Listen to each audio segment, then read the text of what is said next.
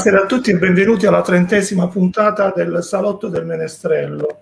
Dopo una piccola pausa estiva ricominciamo con le attività e con le rubriche culturali della Casa del Menestrello. Do innanzitutto il benvenuto alla mia ospite di questa sera, Silvia Polidori. Benvenuta Silvia. Grazie, buonasera a tutti.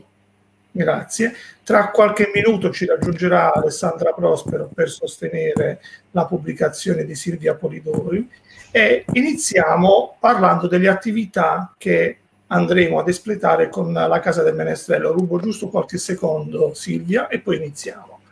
Allora, oggi partiamo con la prima puntata dedicata alla presentazione del libro di Silvia Polidori e poi ci saranno diversi salotti letterari. È partito già l'evento poetico del mese di settembre e quindi nella pagina della Casa del Menestrello potete trovare tutte le istruzioni e il regolamento.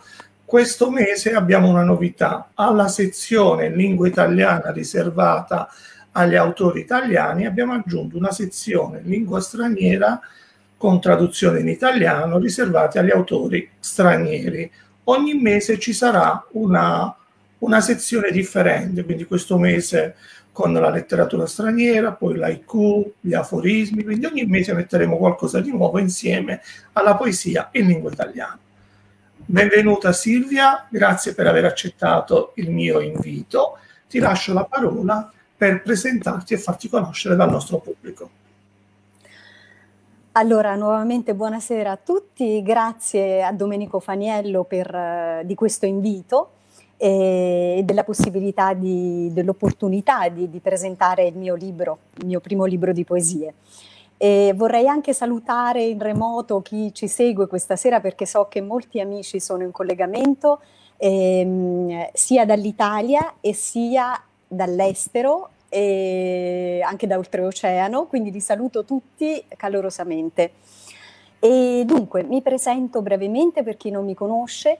Eh, come eh, dunque diceva Domenico, io sono in collegamento da, dal Belgio perché eh, vivo in Belgio e mm, da qualche mese vivo sulla costa ehm, nord del Belgio, del mare del nord e sono professionalmente sono avvocato e lavoro per il Parlamento europeo. Vivo appunto qui in Belgio da quasi 20 anni e, ehm, e mi diletto appunto con, con la poesia. Eh, e, altre, e, con altre attività ovviamente che magari scopriremo durante la serata. E, ecco, quindi sì, questo è quanto e, e sì, e quindi sono felice di presentare questo mio libro, non so se magari inizio a parlarne magari. Sì, io diciamo che possiamo iniziare parlandone di come è nato questo progetto. Poi quando arriverà Alessandra sentiremo anche la parte tecnica del, del tuo editore, della tua casa editrice. Quindi certo. parliamo sì. del tuo progetto, di come è nato questo tuo progetto. Perfetto. Allora, intanto questo è il libro, la copertina del libro che forse avrete visto nella, nella pubblicità già e quindi come, come, potete vedere dalla copertina, eh, dunque eh, si tratta di un libro di poesie bilingue in italiano ed in inglese e fotografico perché ogni poesia è accompagnata da una fotografia scattata da me. Eh, sono fotografie scattate un po' in tutto il mondo, prevalentemente in Belgio dove vivo, e da cui ho preso, sono immagini vere, ovviamente di realtà, da cui ho preso ispirazione per la scrittura poi delle poesie. E, e quindi anche le stesse poesie in realtà sono nate in parte in italiano, in parte in inglese, perché eh, è dipeso un po' dal, dall'ispirazione del momento, dal contesto in cui mi trovavo quando le ho scritte. Inoltre eh, ho iniziato a, per, diciamo, per eh, fare una panoramica un po' cronologica, ho iniziato a scrivere queste poesie già diciamo, nel 2019, ecco. E, e poi eh, c'è stato diciamo, la vera onda, per, per, rispettare il titolo del libro, onda di ispirazione, eh, in quantità c'è stata durante eh, il, il, confinamento dovuto alla pandemia. In quel periodo mi sono trovata appunto a casa concentrata su, su di me in realtà e quindi su ciò che cercando qualcosa che veramente mi piacesse e di conseguenza ne ho scritte altre e eh, a quel punto eh, non avevo in mente di pubblicarle, però mi ha fatto talmente bene il fatto di scriverle, proprio l'attività di scrittura di poesia in quel preciso momento, in quel periodo, che ho pensato che forse pubblicarle eh, sarebbe servito ad altri magari a sentirsi bene come, come mi sentivo io dopo averle scritte. E quindi l'idea è nata, poi ovviamente dalla, eh, dal momento in cui le ho ultimate, quindi marzo 2020, al momento in cui le ho pubblicate è passato un po' di tempo perché ovviamente per una neofita come me eh, è toccato cercare un editore e quindi non avevo alcuna idea. Poi grazie ad una carissima amica, credo che ci, stia, che ci sta seguendo in questo momento, la poetessa Franca Mucciante, che scrive delle meravigliose poesie dialettali tra l'altro, e grazie a lei sono entrata in contatto con Alessandra Prospero, direttrice della casa editrice Diamond Edizioni. Ci siamo immediatamente intese, le ho esposto il mio progetto, le ho fatto vedere sia le, le poesie che le foto che le accompagnavano e lei ha creduto in questo progetto e quindi ecco vedo Roberta Placida, un'altra grande poetessa che, che diciamo, ha, ha, iniziato la collana immaginifica della Diamond Edizioni di cui la mia pubblicazione fa parte e, ehm, e, quindi ecco, con Alessandra appunto abbiamo, abbiamo poi, eh, insomma, siamo andati avanti con la pubblicazione ed il libro eh, è eh, uscito proprio ufficialmente, è stato pubblicato il 23 giugno del 2021, quindi due mesi fa. E, e poi in accompagnamento alle poesie eh, ci sono state due due persone che hanno scritto due bellissime prefazioni che per chi ha già il libro o per chi lo vuole leggere invito a leggerle. Inizio dalla seconda, che è quella di un, di un madrelingua inglese, un irlandese, mio collega del servizio di ricerca del Parlamento europeo, Emon Noonan, che ha scritto una breve prefazione ma ricca, intensa, semplice e, e vabbè, la leggerete.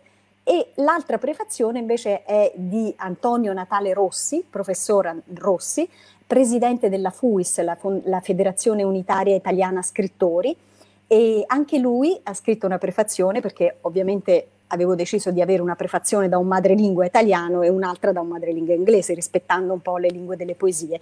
E quindi eh, questo è Maurice, il mio fedele assistente, che mi sta assistendo anche in questo momento, e quindi ehm, il, il, dottor, il professor Rossi ha scritto anche lui una prefazione molto complessa proprio dal punto di vista eh, letterario, perché insomma da professore quale è, eh, veramente quando l'ho letta ho visto che rispecchiava in termini tecnici come descrizione quello che il modo, il modo mio di scrivere, quindi mi ha impressionato devo dire e quindi invito a, vi invito a leggere anche quella, però magari dopo aver letto le poesie perché è, è molto più complessa e, e, insomma ha bisogno di, di, un certo, di una certa concentrazione. Oh, per completare il tutto, sì. Io volevo chiederti una cosa, visto che ci siamo. Uh, tu hai girato diversi paesi europei, giusto? Non, eh, non beh, sei stata solo in Belgio, sei stata sì. per molto tempo all'estero. Sì. Una curiosità, come mai hai deciso di pubblicare con Alessandra Prospero Diamond Edizioni, quindi una casa editrice italiana, facendo questo esperimento di bilingue e non con una casa editrice dei paesi in cui tu ti trovi per lavoro? Sì, allora intanto eh, bisogna dire che eh, addirittura non solo sto pubblicando con, ho pubblicato con una casa editrice italiana, ma la Daimon Edizione è una casa editrice della mia città natale, l'Aquila. Quindi è proprio un, un ritorno alle origini anche ispirative, perché eh, da quando ero piccola, insomma, scrivo poesie, e, mm, anche se poi non, magari non, alcune non le ho più ritrovate, però le scrivevo quando avevo 7-8 anni. E quindi Mm, è stato sì, è stato poi attraverso, come ho detto, questa amica eh, poetessa eh, Franca Mucciante che sono entrata in contatto con Alessandra, c'è stato immediatamente una, un, un'intesa e quindi ecco, è andata, è andata, così. Poi è ovvio che la mia lingua madre è, la, è l'italiano, quindi eh, in ogni caso, eh, insomma, volevo una casa editrice italiana. Sicuramente non eh, non ne avrei scelta una ecco, anglosassone, questo insomma non, non l'ho neanche cercata, devo dire. E locale neanche perché comunque le lingue locali dove vivo io sono il francese, il fiammingo, tutta più il tedesco che è una minoranza, ma eh, ecco no, il libro doveva nascere come, come libro italiano, come me. Ecco. Bene, allora, ah, senti, vogliamo iniziare. Dimmi, dimmi, sì. cosa volevi eh, dire? Eh, volevo completare questo, questa, questa, serie di persone che hanno collaborato. In sì. realtà devo dire che proprio riagganciandomi a questo fatto che il libro è bilingue, eccetera, è, è, è piaciuta questa idea del fatto di essere bilingue e, e, e tant'è che la vicepresidente del Parlamento europeo, Katarina Barley, che è una tedesca, eh, ha gradito l'idea e mi ha scritto anche qualche parola di introduzione, quindi la troverete sul libro, anche quella. E, e poi da quando il libro è stato pubblicato, dal 23 giugno, eh, diciamo, ho, ho, ho, già avuto sei, sei, presentazioni del libro, quindi sei richieste di, di presentarlo, eh, eh, sia a livello internazionale che, eh, che, che a livello nazionale italiano. E, e questa è la settima presentazione, quindi eh, sono molto felice di questo. Anch'io sono felice di averti ospite per la prima puntata perché innanzitutto mi fa piacere ricominciare con Alessandra Prospero um, perché insieme a lei abbiamo costruito l'evento poetico eh, del mese online che, che, gestisco come rubrica e come evento mensile. Quindi con lei ho iniziato questa avventura e, e con lei, anche quando ero in un altro gruppo, è stata la prima persona che ho avuto ospite. Alla mia prima diretta ho avuto Alessandra Prospero, quindi voglio dire, è una, una madrina, oltre ad essere un partner tecnico, uh, d'eccezione. Quindi era giusto iniziare con lei e anche con te che sei uh, l'italiano che è molto apprezzato e stimato all'estero, perché in giro si dice sempre che l'italiano non è apprezzato all'estero, invece io ho conosciuto tanti artisti, tanti autori prima di te e tutti sono molto stimati ed apprezzati per il loro lavoro, per la loro attività culturale. Anzi, c'è molta curiosità intorno alla cultura italiana e soprattutto all'estero apprezzano e ricercano le nostre attività, le nostre rubriche culturali per poter apprendere e imparare tantissimo sulla nostra cultura. Io Silvia volevo iniziare a questo punto con la lettura della prima poesia sì. e andiamo avanti aspettando che arrivi Alessandra. Certo. Allora, Prego. Questa poesia che, che ho scelto proprio, ha proprio un taglio internazionale. Ecco, volevo anche diversificare rispetto alle altre presentazioni eh, che sono state piuttosto sul mare, che vedete ecco, qui, die- qui dietro, ehm, e, insomma su tematiche più astratte. Ecco, questa è una poesia che ho scritto sull'Europa e il titolo è Che cosa l'Europa? Chi magari ha già il libro può, può seguirmi anche mentre la leggo. Allora, che cosa l'Europa? Senza genio italiano, volontà francese, forza tedesca, vuoto contenitore legalmente perfetto, ma dove il suo spirito? Guarda l'Europa come tesoro umano, fertile campo che genera alberi alti, foreste riossigenanti per il mondo intero. terreno nutriente dove valori umani di varie origini e culture stimolano la crescita, ispirano pace. Sole, brilla su questo campo e scaldalo con i tuoi raggi perché dia i suoi frutti. Lambiscilo mare, danzando all'orizzonte. Complimenti Silvia. Prima di ascoltare Grazie. il tuo commento, tu queste poesie le hai lette anche al Parlamento europeo, credo sia in lingua eh, italiana, no? Eh, no, in realtà c'è stata un'intervista, ehm, eh, un'intervista che, che, è stata pubblicata sulla rivista interna del Parlamento europeo e che io ho ripubblicato sul mio profilo LinkedIn, quindi potete, potete leggerla. Tra l'altro è molto, è molto, interessante e anche curiosa perché ci sono domande anche su da dove è venuta questa ispirazione, il mio rapporto con le poesie, quindi racconto un po' dell'infanzia, della mia maestra che vorrei tanto salutare, probabilmente se, se, mi sta seguendo la saluto con tanto affetto, dell'Aquila, Maria Teresa Caporale, e che ha segnato veramente inconsciamente, sicuramente ha segnato questa ispirazione poetica, sicuramente, perché, eh, ecco, questa, perché alla scuola elementare noi leggevamo Dante Alighieri, leggevamo eh, Boccaccio, leggevamo veramente di tutto, Pablo Neruda, Garcia Lorca, e quindi questo, ecco, quando, quando si inizia a quell'età, si inizia già ad assaporare proprio il gusto della poesia ed è e della bellezza che poi resta, quindi questo sicuramente porto, lo porto dentro. E quindi questa intervista è stata pubblicata e, e quindi ha circolato diciamo, all'interno del Parlamento, però ancora non le ho lette.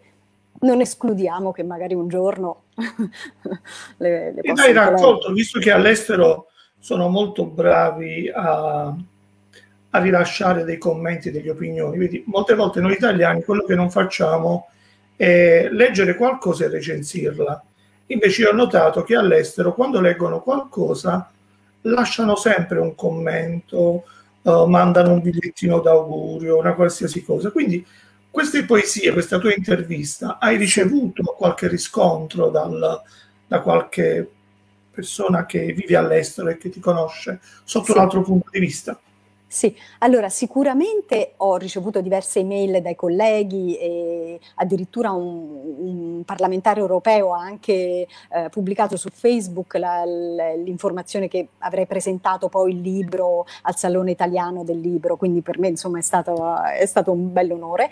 E, ma a parte questo, io eh, vi invito se volete, per chi poi tra l'altro eh, lo sta leggendo il libro, a eh, ad, in, ad inserire una, re, una recensione sul sito IBS oppure anche sul sito della Diamond, ma su, soprattutto sul sito IBS potete leggere, ci sono già credo sette recensioni, sia da italiani sia da non italiani e ce ne sono alcune veramente, ma tutte devo dire, io infatti ringrazio tra l'altro chi, chi ci sta seguendo questa sera ed ha scritto queste recensioni, perché per me sono state il riscontro dell'idea che avevo appena detto, cioè che ho appena detto, cioè quella di, di sperimentare un po' la pubblicazione di qualcosa che, che, a me aveva fatto bene, cioè il fatto di scrivere le poesie e quindi di pubblicarle perché eh, mi chiedevo, cioè, mi chiedevo se, se in realtà questa, questa, questo benessere, questa sensazione potesse essere anche trasferita agli altri. E da queste recensioni mi sembra di sì, in modo poi diverso, perché ognuno è diverso, da, ogni individuo è diverso dall'altro, quindi ognuno ha bisogno di qualcosa di diverso nel suo intimo e, e la poesia raggiunge l'intimo, quindi di se stessi, quindi poi l'anima dell'altro risponde, risponde in modo diverso, ma risponde. E queste recensioni veramente, se le leggete, sono delle poesie. Io infatti penso che tutti quelli che le hanno scritte sono anche loro dei poeti, perché io sono rimasta veramente incantata e insomma vi ringrazio anche perché l'avete fatto, insomma, potevate anche tenervi per voi le impressioni, invece l'avete scritte, quindi grazie davvero. E spero eh che Silvia, vogliamo parlare, sì, vogliamo parlare di questa poesia dedicata all'Europa. Cosa sì. ti ha ispirato per scriverla e il messaggio che tu hai voluto trasmettere all'interno di queste parole? Sì, allora io la, la, la, diciamo, eh, la riguarderei un po' analiticamente. In realtà eh, questa poesia si compone un po' di tre parti. Nella prima parte, che è la prima parte molto lunga e descrittiva, io accenno, eh, non accenno, descrivo questa caratteristica fondamentale dell'Europa che, eh, di cui secondo me si dovrebbe parlare tantissimo, che è l'anima dell'Europa, cioè la, la caratteristica proprio umanistica dell'Europa, che è una composizione, un mosaico, un mare con tante onde, con tante correnti, che sono queste culture diverse. Ognuno di noi, per caso, è nato in un posto del mondo. A noi è capitato di nascere in Europa, però e in Italia. Però, come diceva uno dei padri fondatori, il nostro italiano, Alcide De Gasperi, lui si definiva ed era orgoglioso di essere trentino, italiano ed europeo. Questo significa che al contempo noi quando nasciamo e veniamo educati in una cultura ci permeiamo diciamo, di, eh, di, di sensazioni, di, di emozioni, di modi di fare e di stimoli che quindi poi ci portano ad essere in un determinato modo. Ovviamente la nostra natura è, è individuale e diversa in tutto il mondo, ok? Però poi comunque c'è questo fattore, questa parte culturale che, che ci rimane attaccata. E quindi all'inizio della poesia, quando accenno al genio italiano, cioè eh, il genio italiano veramente è, al mondo è, è straconosciuto, voglio dire, ehm, Leonardo da Vinci, Alessandro Volta, Galileo Galilei, insomma sono tutte personalità conosciute al mondo per la loro genialità. E anche l'italiano non conosciuto al mondo ha comunque quel, quel fremito, quel guizzo di genialità che io vedo sempre quando, quando sono tra colleghi e noi insomma in una riunione possiamo, io lavoro con colleghi di, di 27 nazionalità, 23 lingue, quindi è, è, è, proprio un insieme di tante diversità. E l'italiano, insomma, ha sempre quell'idea geniale, che noi diciamo geniale, cioè diversa, che esce fuori dal, dal, dal, dal coltivato, diciamo. Oh, poi cito la volontà francese, perché ovviamente eh, i francesi ne hanno di volontà, e, e, la forza tedesca, la tenacia tedesca quando, quando hanno un obiettivo non, non, non, sono mai affaticati nel raggiungerlo, cosa che magari noi possiamo, ecco, noi possiamo perdere di vista l'obiettivo, a volte ci rilassiamo dopo il colpo di genio, i tedeschi no. Quindi ho accennato ovviamente a questi tre eh, popoli perché sono gli stati fondatori più grandi de, dell'Europa e anche restano gli stati più grandi, ma tra i fondatori erano i tre più grandi insieme al Benelux poi che ok, de, okay. Quindi, um, quindi accenno a questo, però poi eh, ecco, nella mia vita vissuta io eh, eh, accennavi al fatto che ho vissuto anche eh, in altri paesi europei e in particolare ho vissuto a Praga, quindi nella Repubblica Ceca per tre anni, ho lavorato e vissuto lì. E questo mi ha fatto apprezzare molto anche la cultura slava, perché tutti i nuovi Stati membri, quelli che, che sono entrati in Europa dal 2004, ehm, hanno una cultura altrettanto diversa da quella nostra latina e da quella germanica. Quindi la cultura slava è un altro mondo. Poi pensiamo agli stati baltici, quindi Estonia, Lettonia, Lituania, altra cultura, altri influssi, eh, altra storia anche se collegata poi tra loro, perché la Polonia, la Lituania, insomma, eh, eh, erano stati in sé, quindi eh, si vede come c'è la diversità, ma c'è veramente l'unione nella diversità. E poi gli stati nordici, il pragmatismo eh, degli stati nordici, il fatto di essere così diretti. quindi tutta questa diversità, ecco, è, ha un valore in sé ed è quello che io evidenzio qui Ecco perché lo contrappongo un po' al, al vuoto contenitore legalmente perfetto, perché il corpo come noi può funzionare, eh, le cellule, le, le, le, ossa, siamo composti da muscoli, eccetera, questa è la nostra materialità, ma senza la spiritualità, senza, senza ciò che, che, noi esprimiamo, eh, siamo poco e niente. Quindi è importante ricordarsi sempre che, che l'Europa è fatta innanzitutto da questo, cioè è fatta da uno spirito della diversità composto da tante culture diverse che avvalorano poi eh, l'uomo stesso, quindi l'umanità.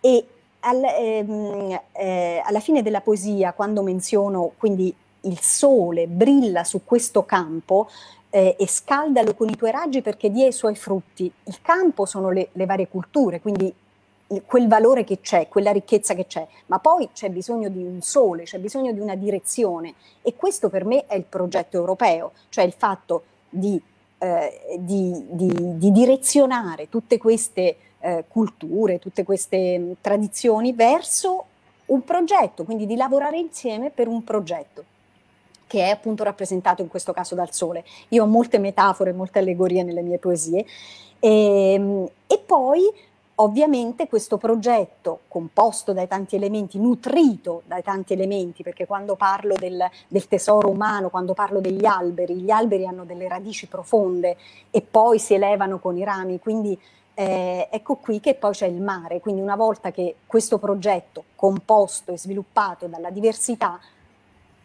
prende il, il volo, prende il largo nel mare, poi è immenso, cioè da, da, questo si può fare tutto, è un progetto diciamo senza limiti, di massima creatività. Grazie Silvia. Diamo il benvenuto ad Alessandra.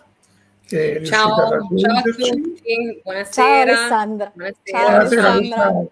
Facciamo riposare un po' Silvia. Eh? Facciamo riposare un po' Silvia che ha parlato per 26 minuti di fila. Ti aspettavamo Alessandra.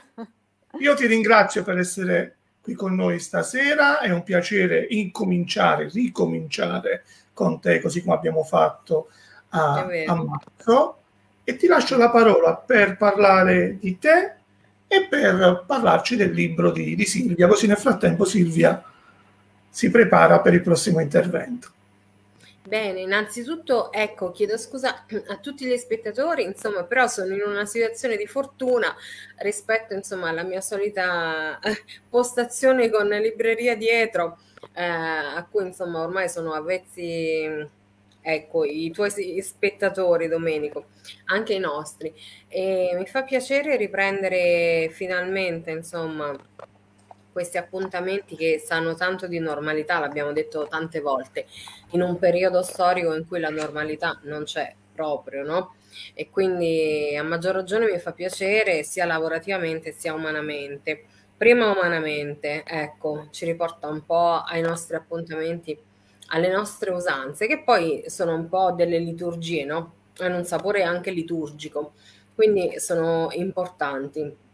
Ecco, stasera insomma mi fa piacere poi essere qui con una mia autrice, una delle ultime, quindi con Silvia, e con questo libro che è andato ecco, a, diciamo, a nutrire la collana immaginifica a cui ovviamente insomma, teniamo molto. È una collana particolare. Ciao, ciao Antonio, grazie e quindi sono, sono, a maggior ragione contenta. Eccolo qui, lo faccio vedere, sicuramente l'avete fatto vedere anche voi, ma ce l'ho anch'io. Ecco qui sulla cresta dell'onda, on the crest of the wave. Eccolo qui. E, insomma, ci sarebbe tanto da dire, Domenico, quindi dimmi tu, indirizzami. Allora, io avevo chiesto a, a Silvia, forse non l'hai ascoltata, lei che è sempre all'estero, perché ha scelto la Daimon Edizioni? E lei mi ha detto, non so se l'hai ascoltata, che... No, non vi ho potuto sentire. Ah, innanzitutto è legata a, alla città e alle sue origini e anche perché si è trovata molto bene con te a lavorare e soprattutto perché lanciando quest'idea del bilingue ha visto che eh, c'è stato molto interesse nel, nell'operare anche con Roberta Placida e, e con te. Quindi volevo chiederti, questo progetto bilingue è un inizio di tanti altri progetti? Ci saranno altri progetti del genere? Anche in considerazione delle tue partecipazioni a fiere internazionali. Speriamo, speriamo vivamente perché in effetti con le fiere internazionali insomma abbiamo molto rodato nostra, il nostro percorso Mm, abbiamo avuto esperienza di diverse fiere internazionali e devo dire che la risposta insomma è sempre mh, mm, piena di entusiasmo per quanto riguarda i nostri autori anche perché poi tu lo sai Domenico insomma la maggior parte dei miei autori comunque mh, mm, scrive poesia anche Silvia no? Sì. Quindi la poesia comunque è talmente universale che anche per chi insomma non conosce non conosce eh, l'italiano, e no, non parlo del caso di Silvia, ma di tutti gli altri casi, insomma, mm, c'è poi un afflato, un afflato che è universale, che coinvolge, che conquista il pubblico. Quindi io mi auguro, eh, già visto questo, questo effetto, insomma, eh, ma anche in virtù della pubblicazione di Silvia, mi auguro che ci siano poi delle, diciamo, eh, ovviamente de, dei progetti internazionali di, eh, che, che, che, proseguono, insomma. Eh, con abbiamo fatto, sì, è, è, vero, la prima opera bilingue de, della Diamond Edizione, proprio bilingue, non, insomma non c'è un, un come dire, non, non è questione di di mh, riassunti, traduzioni o sottotitoli, è proprio bilingue, quindi eh, ci fa piacere anche, anche per questo. Mh, tra l'altro, io sono molto orgogliosa di questa collana perché è partita con Roberta Placida, come abbiamo detto. Ed è partita eh, secondo uno spirito, no? secondo una, un punto di vista, un progetto che aveva Roberta, che era quello comunque di mh, unire eh, la poesia, eh, in questo caso a, a, a laiku, cioè laiku, ecco, eh, ha un'immagine e quindi tecnicamente è, è, il primo libro della collana immaginifica, non è un libro di haiku mm, e di foto, ma di aiga, si chiama così, no? Ecco, eh, l'haiku unito a un'opera pittorica o comunque visiva. Quindi per noi quello è stato un primato, il libro di Roberta.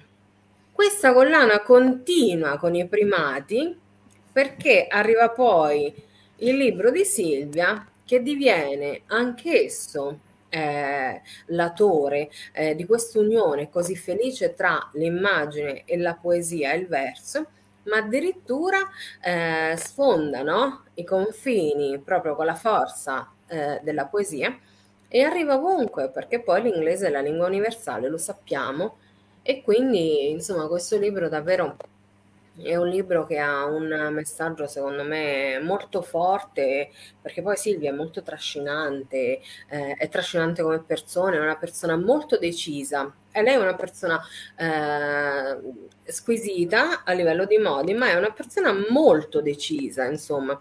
E sa bene quello che vuole, sa bene quello che deve fare, è molto determinata e quindi ha una forza eh, proprio interiore che secondo me poi abbiamo ben rispecchiato esce fuori insomma nel libro questo libro ha la forza intrinseca della sua autrice perché poi eh, sicuramente l'avrete detto ma Silvia è autrice sia delle poesie sia delle foto così come Roberta Placida eh? quindi questo talento che comunque il Diamond no Domenico che fiorisce veramente a tutto campo e, e, in diversi comunque ambiti, in diverse arti. Eh, è davvero, insomma, è davvero emozionante, a volte anche strabiliante, perché io mi trovo di fronte a queste autrici che riescono eh, a racchiudere eh, questi filoni artistici anche diversi, no?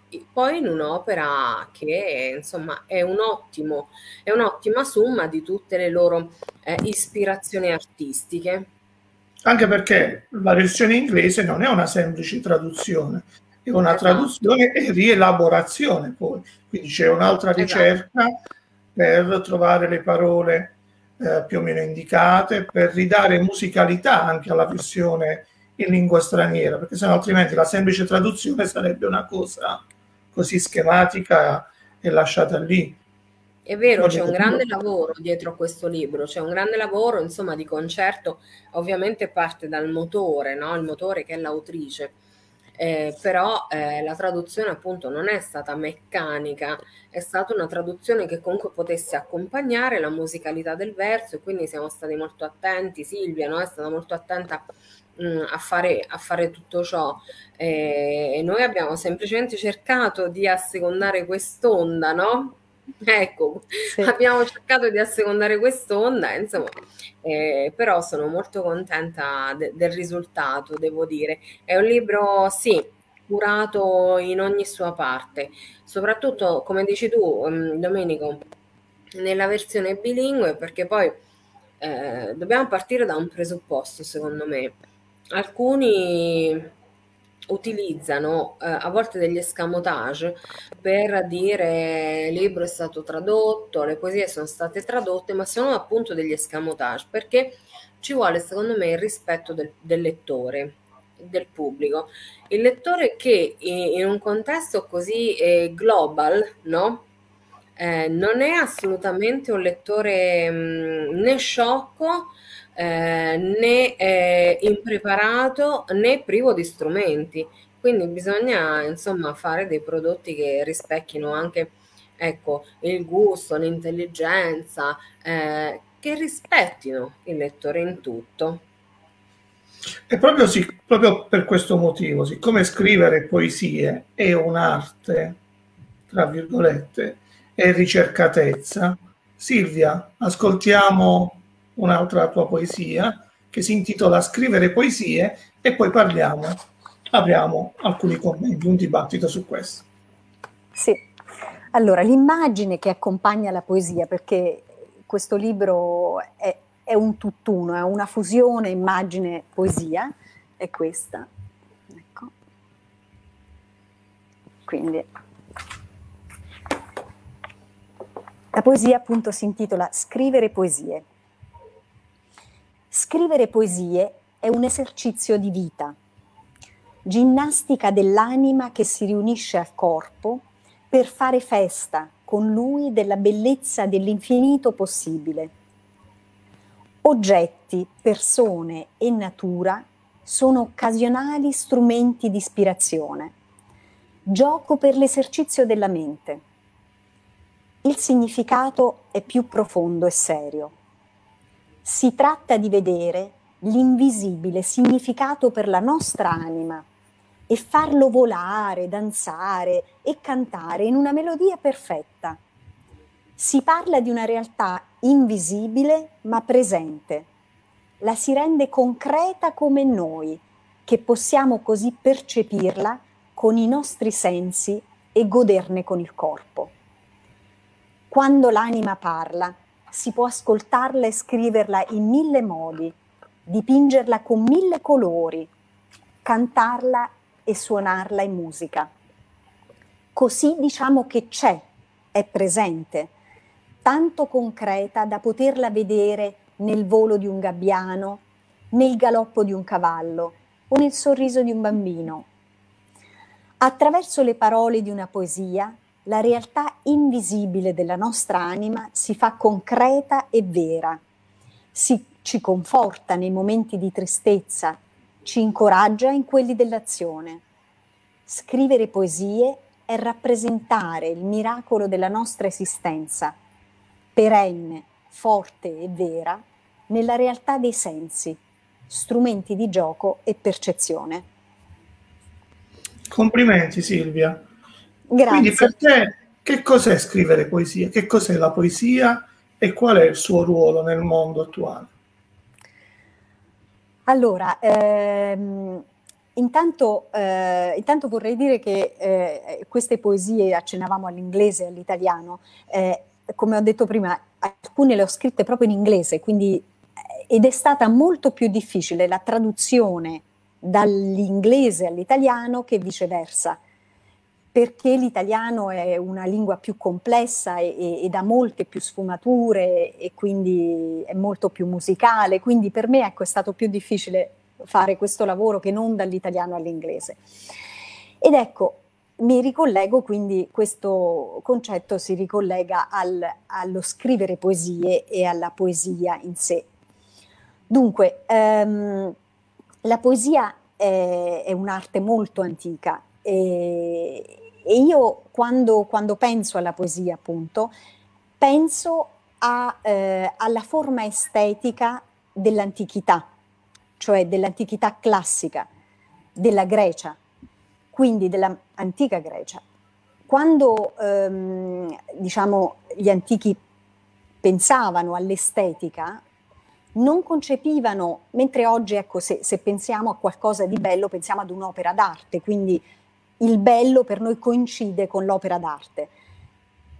In antichità non era così, in antichità la bellezza, l'estetica coincideva con il cosmo, cioè la scoperta, diciamo l'intuizione, perché non c'erano i mezzi tecnologici e tecnici per vedere eh, diciamo, gli astri, eccetera, però a quell'epoca l'intuizione del cosmo era l'intuizione mh, di un qualcosa di, di, meraviglioso e di ordinato. Infatti Cosmos è, era proprio l'ordine bello e quindi questo ordine bello era applicato a tutte le sfere della vita, non solo all'arte, a, al mangiare, al vestirsi, all'architettura, a tutto, quindi tutto era estetica.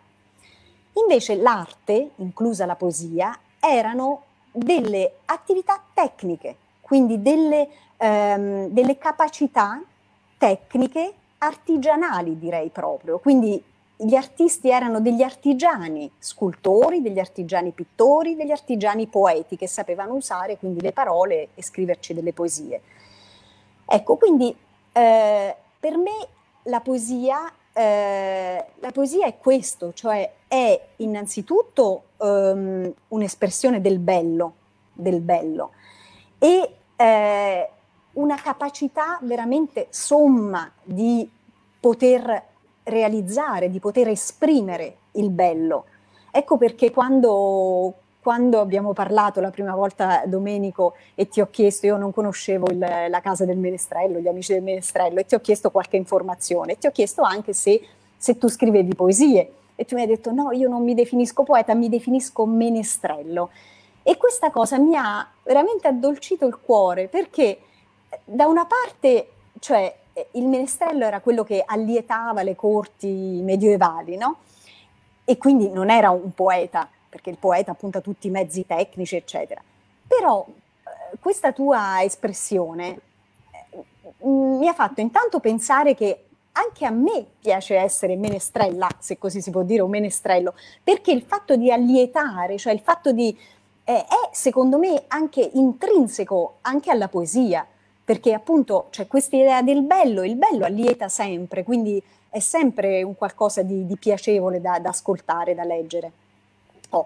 E, poi, eh, e poi ecco eh, il fatto di essere poeta, di, Ecco, per me, eh, io quando penso a dei poeti, appunto, penso veramente ad Omero, a Saffo, Saffo, le poesie di Saffo. Adesso che guardo Alessandra, il giardino di Afrodite, tu Alessandra hai scritto il giardino di Hermes, la poesia Il giardino di Afrodite di Saffo è, è un qualcosa di veramente di, di, di bello, di, di sublime.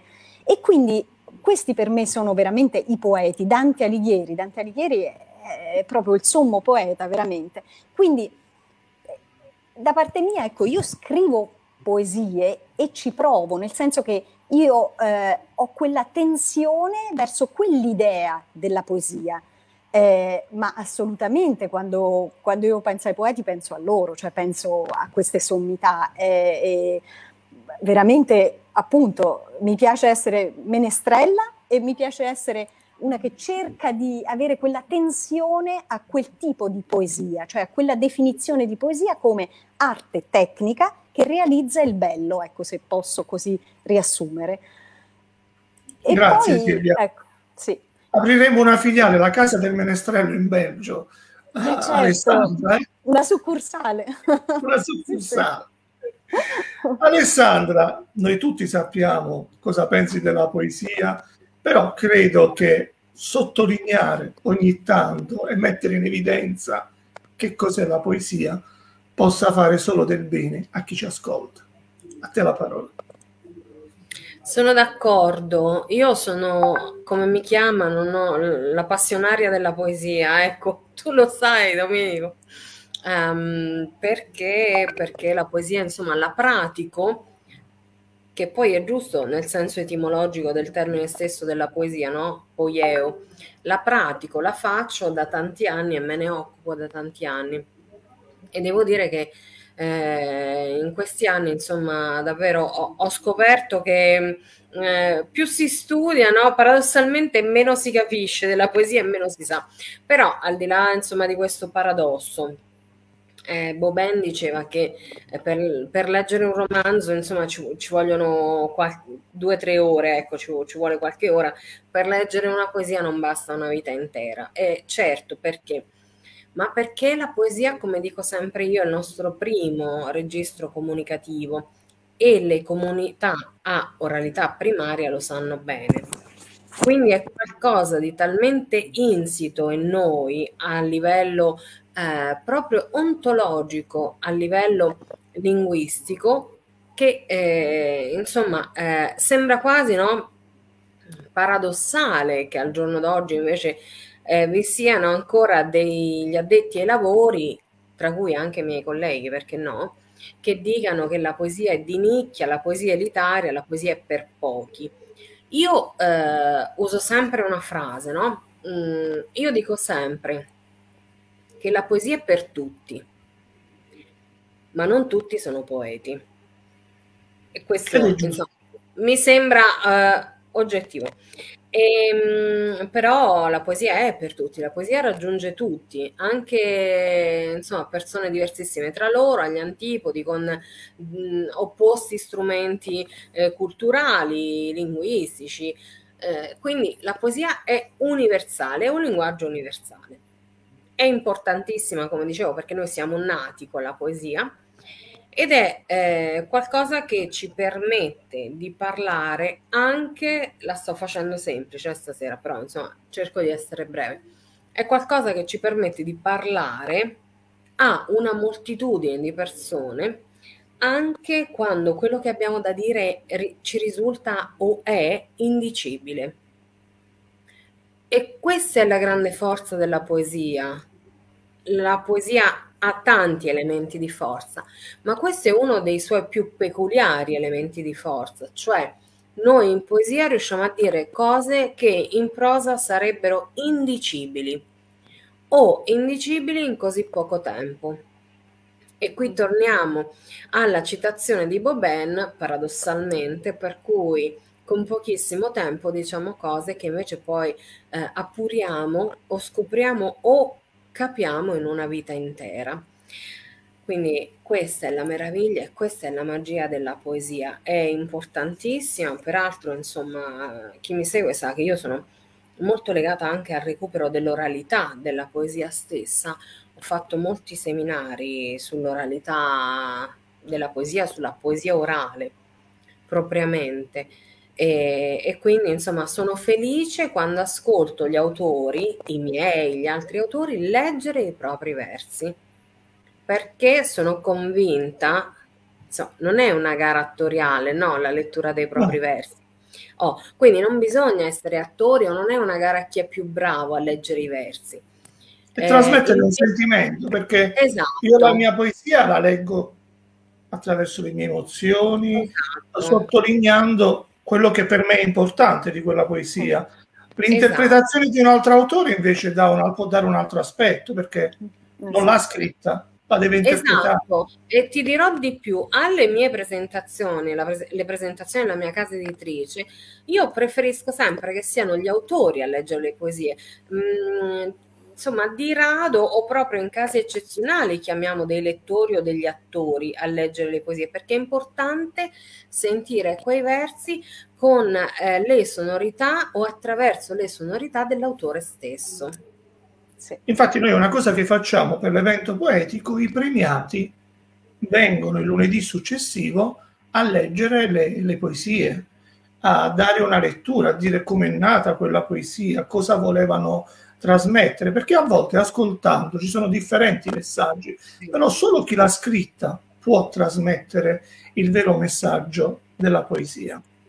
È vero. Silvia, se sì. mh, mm, andiamo avanti magari con una terza poesia, perché il tempo vola, sì. e quindi ascoltiamo questa tua terza poesia, dopodiché sì. diciamo dove poter trovare il tuo libro, dove è in vendita, facciamo aggiungere un commento ad Alessandra se vuole e poi partiamo con i saluti finali. Prego Silvia. Sì, sì. Allora, questa poesia si intitola La creazione del mare e eh, ed è molto adatta questa foto alle mie spalle perché, eh, ecco, vedrete le attinenze. Allora, La creazione del mare. Il mare ricama merletti con l'onda, cresce, si avvolge e poi esplode in spumosa energia. Rallegra lo sguardo che mai stanco lo segue, per non perdere niente di quello spettacolo unico.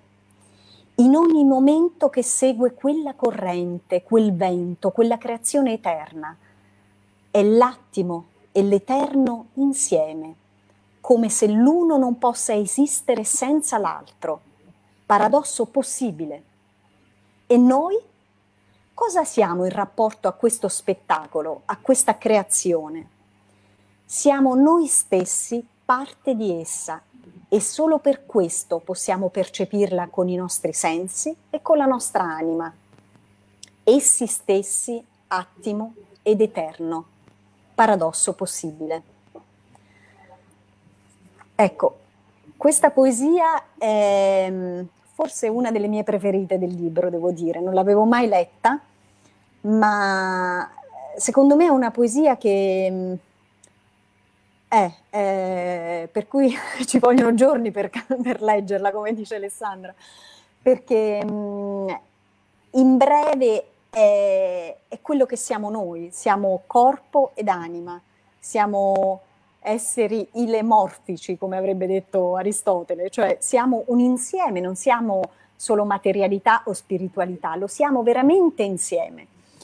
E, e quindi questo paradosso che, siamo, che noi ci portiamo dentro, in realtà dietro, eh, in realtà poi lo ritroviamo nella realtà esterna. Ecco perché eh, la, dunque la, qui dico che il, il mare, eh, il mare, la creazione eterna del mare, eccetera, è l'attimo e l'eterno insieme, perché è vero, la cresta dell'onda, che è il titolo del libro, dura una frazione di secondo perché è una creazione di un attimo ed è unica perché non c'è mai una cresta dell'onda uguale all'altra.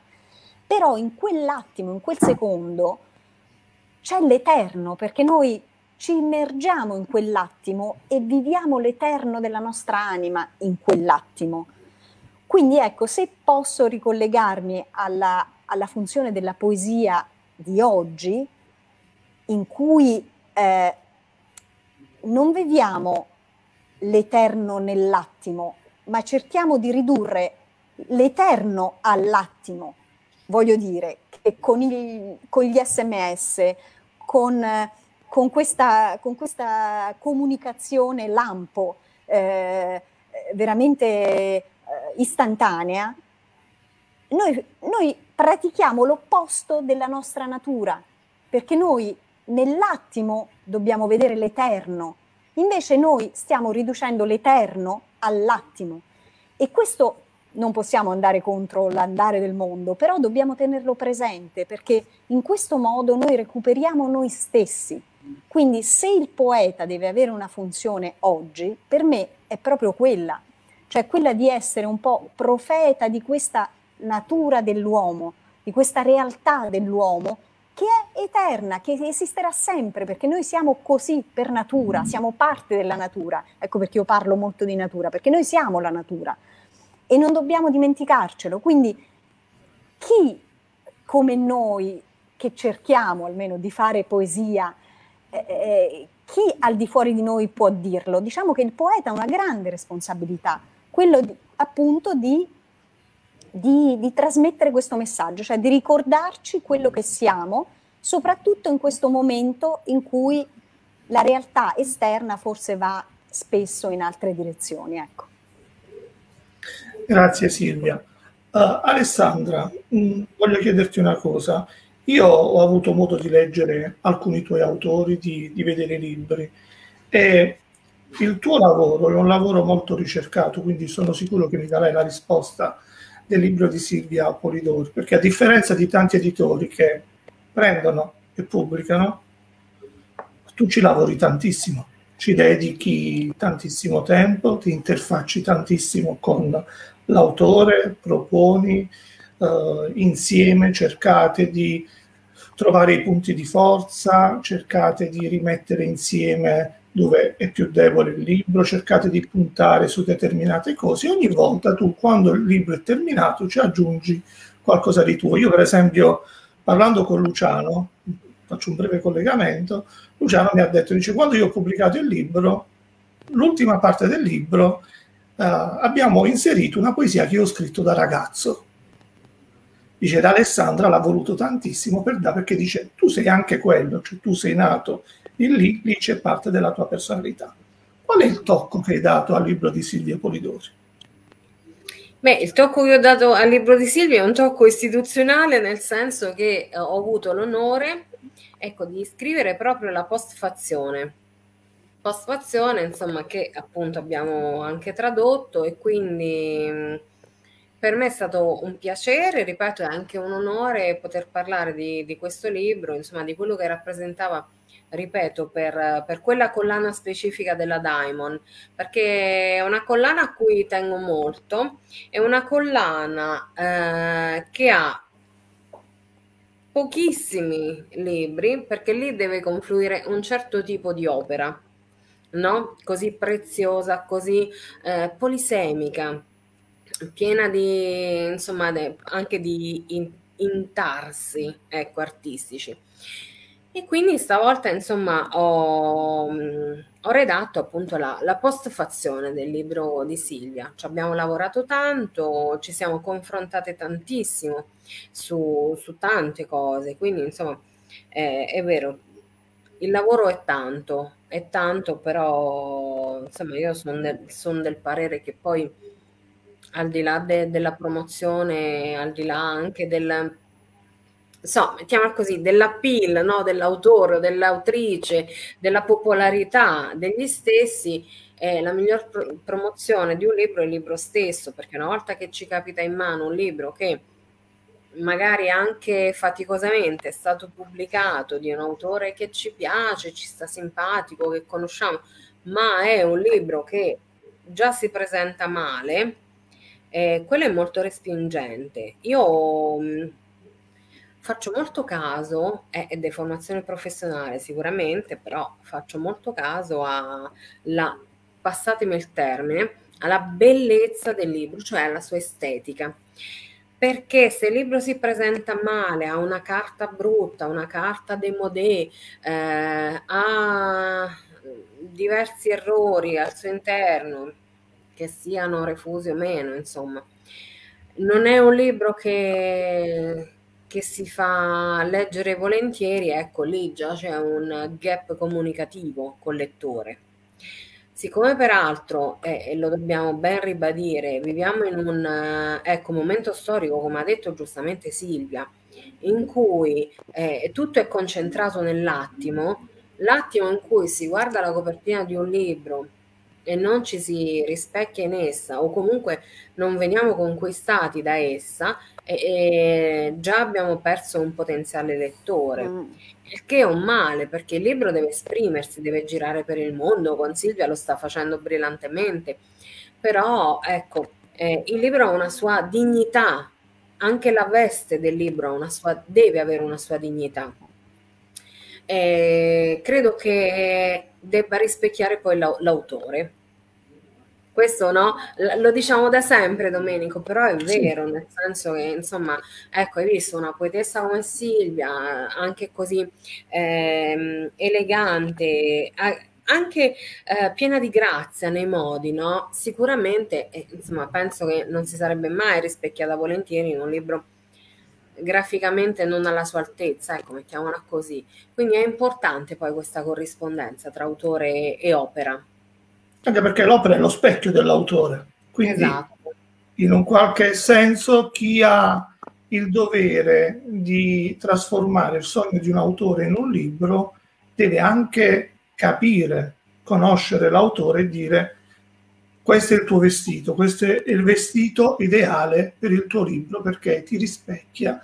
E io ho visto delle copertine, anche le ultime che sono state fatte, che sono spettacolari e quindi c'è molta ricercatezza e molto lavoro in tutto questo e sono rimasto veramente colpito, anche perché andando in libreria tante volte ci sono copertine standard che vengono riadattate e non catturano l'attenzione dell'autore perché anche la copertina ha la sua importanza, la curiosità, il particolare, il dettaglio. Ritrovare il significato della copertina di quell'immagine all'interno del libro, leggendo all'interno del libro, dici guarda, questa poesia mi ricorda quell'immagine. E quindi questo è il vero lavoro, la vera ricerca che va fatta. È vero, io sono, sono fortunata, posso... dico solo questo perché ho dei collaboratori molto validi, eh, sono bravissimi a livello grafico, davvero a livello grafico, a livello di editing, ho tutti collaboratori eccezionali. Ho un poco poco di merito, un pochino sarà forse anche mio, insomma, nell'essermi creata questa squadra davvero di talenti eccezionali, però davvero sono dei professionisti, insomma, che poi potete valutare anche voi con, con il risultato insomma tra le mani e sotto gli occhi. Ecco. Infatti, se, po- se, posso aggiungere una cosa su questo sì. tema, e infatti ringrazio molto Alessandra perché questo libro eh, per chi già ce l'ha lo può vedere, per chi non l'ha magari quando, se, se, ce l'avrà insomma lo, lo, constaterà, ha un formato particolare come forse anche l'altro di Roberta Placida, cioè non è un libro normale, tant'è che io quando eh, l'ho proposto ad alcune librerie eh, mi hanno guardato per, per, per regolarsi dove metterlo negli scaffali, però immediatamente poi dove lo hanno messo? in vetrina, quindi non solo all'Aquila ma anche qui in Belgio, lo hanno esposto in vetrina perché questo formato particolare veramente, e poi con la foto, vabbè, eh, insomma, sa proprio di mare, quell'onda sembra arrivare, uscire fuori dalla copertina. E penso che insomma sia stata un'ottima realizzazione, quindi grazie Alessandra. E un'altra osservazione che è anche bello da vedere come appunto oggetto d'arte, diciamo, anche appoggiato su un tavolino di salotto, cioè è, è un oggetto bello in sé, è come una foto appoggiata eh, quindi eh, appunto in un angolo della casa che, che ravviva e che, dà, e, che, e che, fa venire voglia di, di, aprirlo e di leggerlo, però anche da chiuso ecco, è, è piacevole. Quindi grazie Perfetto. Alessandro. Grazie allora, sì. Domenico, in Immaginifica sì. la dimensione del libro è quella della 4, capito? Come un album sì. da disegno, perché queste cose sono così belle che ovviamente si devono vedere in un formato. Abbiamo adeguato. perso la linea dal Belgio. Stasera così. Partiamo bene. Partiamo bene. Qualcuno ci sta facendo la macumba, però non fa niente. Noi stiamo Ma noi qui. siamo più forti, Domenico. Eh, vediamo se riusciamo a recuperarla nel frattempo. Vediamo. Uh, magari partiamo da te con uh, i tuoi saluti e anche rinnovando i tuoi appuntamenti, se ci sono degli appuntamenti in poesia femminile singolare e con me poi abbiamo un appuntamento speciale per un'altra data. Prego Alessandra. È vero, allora io saluto tutti, ringrazio tutti e chiedo scusa se sono, ecco, eh, mi sono potuta collegare dopo, ma per motivi logistici, eh, per situazioni di fortuna, eccetera, ma ci tenevo ad essere presente e mi fa molto piacere ripartire, ripartire insomma con, con la poesia, come dicevamo. Eh, per il momento eh, abbiamo, caro Domenico, gli appuntamenti con te, poi sì. se lo vuoi dire tu, quello importante con, eh, ecco, sempre con un autore della Diamond. Ehm, Eccomi ecco, di nuovo. Bene. E per il momento Poesia Femminile Singolare, ecco, sta aspettando che riparta l'evento poetico e poi ci saranno degli appuntamenti. Eh, quest'anno ti dico, ecco, un'anteprima te la posso dare. Quest'anno abbiamo deciso di lavorare eh, molto sulla qualità, quindi probabilmente, ecco, chiameremo meno ospiti, faremo meno puntate, meno dirette, però eh, ci teniamo ad avere degli ospiti eh, importanti nel senso mh, mm, particolari che abbiano qualcosa da dire di fondante sulla poesia. Quindi dopo ecco, l'inizio del, dell'evento poetico, del tuo evento poetico, avremo qualche ospite di rilievo. E, mm, insomma, io seguo nel frattempo gli autori, eh, tutti gli autori, sono reduce da un'estate che è stata abbastanza impegnativa, molto impegnativa e abbiamo avuto tanti, tante presentazioni, tante presentazioni, l'ultima sabato sera, ecco, con lo statico volo di una rima con, dell'autore Federico del Monaco, che è stato un successo che insomma appunto chiudeva le presentazioni in presenza. È stato un lavoro molto gratificante ma molto molto molto impegnativo, anche stancante in alcuni momenti. Quindi eh, adesso mi fa piacere essere qui con Silvia e poi ci sarà un appuntamento importante con un autore, ecco, che peraltro io ho visto sabato. Ho visto, ho visto le foto. Ti ha fatto una bella sorpresa. Mi ha fatto una sorpresa, io sono, sono, sono rimasta, ti devo dire eh, ancora più di me Roberta Placida, che era meno informata, io almeno ero in qualche modo preparata e Roberta è, insomma davvero è rimasta molto molto stupita, piacevolmente. Devo dire, io sono stata felicissima, felicissima, felicissima. Eh, ti posso dire una cosa, tu lo menzionerai, però io dico solo questo, questo autore, questa persona è la dimostrazione vivente che quando le cose si vogliono e si vogliono fare, si fanno nonostante tutto, nonostante i problemi, gli ostacoli. È lui. Allora, noi abbiamo quindi l'appuntamento il 13 settembre con Luciano Giovannini, Federico del Monaco e Alessandra Prospero per la presentazione che avevamo in programma qualche mese fa e abbiamo rinviato poi ci sarò il 20 e il 27 all'interno di Poesia Femminile Singolare con la cerimonia di proclamazione dei vincitori il giorno 20 e poi con i vincitori dell'evento poetico per la lettura della poesia il giorno 27. Quindi io con te Alessandro ci vediamo il giorno 13, ti aspetto e sicuramente poi nel frattempo costruiremo qualcos'altro perché tanto certo. anche se siamo in ferie, io non più, ci sentiamo ugualmente quindi le nostre ferie, ferie, relative le chiamo io. Rel- molto relative. Molto relative. Allora Silvia, come ti sei trovata? Lascio a te i saluti finali e, e poi lanciamo la sigla. Benissimo, grazie dell'ospitalità, grazie a te, grazie ad Alessandra e ehm, forse ecco come ultima cosa, visto che eh, le prossime presentazioni in programma eh, per me sono qui eh, in Belgio e tra l'altro dal vivo, quindi a me fa molto piacere perché quelle che ho avuto dal vivo, come voi avete detto prima, insomma, eh, purtroppo sono tutta un'altra cosa, cioè veramente si sente l'energia, l'emozione, eccetera. Però eh, anche quelle online, devo dire, siamo riusciti a, a superare persino la, questa distanza diciamo materiale. E, mm, e però appunto eh, intanto siete tutti benvenuti per chi passasse in Belgio eh, ad ottobre ad esempio il 14 ottobre c'è la presentazione ehm, eh, alla libreria Filigran eh, che è la libreria più, più grande d'Europa in realtà quindi eh, sarà una presentazione importante. E, mm, e poi anche a novembre altre presentazioni un'altra nella libreria italiana italiana a Bruxelles, la Piola. E, ehm, e quindi ecco vi aspetto. E vorrei concludere con questo. Io ho qui eh, una, un oggetto che è una, eh, ecco, senza vedere la marca, ma comunque è una scatola di, eh, di cioccolatini, di praline. Ecco, qui si dice un boîte de praline.